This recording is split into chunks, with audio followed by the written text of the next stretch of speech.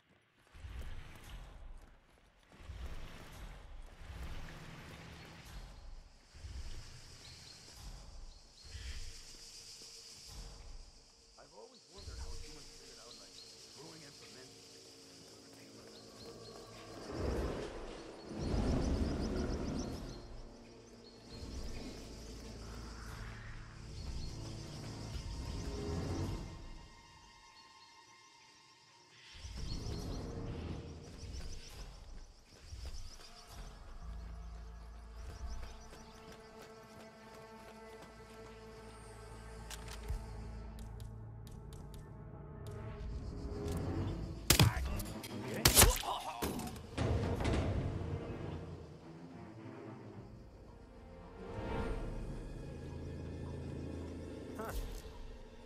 The rich scratch their asses too when they think nobody's watching. Boom.